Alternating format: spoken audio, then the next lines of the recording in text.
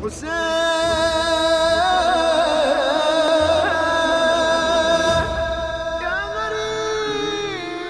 خصائص قضية الإمام الحسين هو الإطعام حتى أن عاشوراء عندما موسى سأل الله سبحانه وتعالى عنها قال له يا موسى عاشوراء فيها يقتل الإمام الحسين سلام الله عليه. وعدد له مناقب عاشوراء وخصائص يوم عاشوراء وقال له وإطعام الطعام.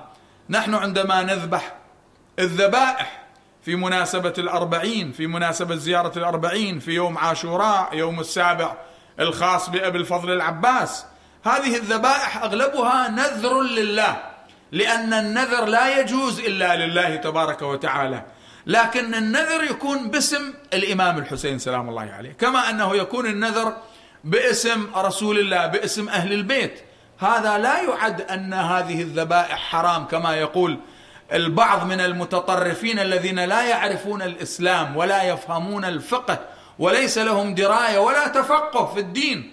يقول لي بعض الشباب أنه سألت أحدهم أن يأكل؟ قال لا هذا ذبح لغير الله فلا يجوز أكله.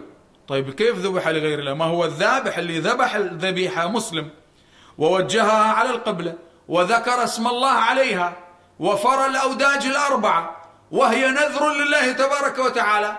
لكن باسم الإمام الحسين يعني ذبحها لله تكريما للإمام الحسين لإحياء ذكراه وإذا كان هذا الذبح حرام فمعناه كل الذبائح في السوق ما نستطيع أن نأكلها لأنه الذابح يذبحها للناس وليس لله.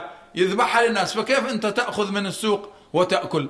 هو الذابح الذي يذبح مسلم يذكر اسم الله وكلوا مما ذكر اسم الله عليه. هذه المسألة يجب أن نلتفت إليها أحبتي.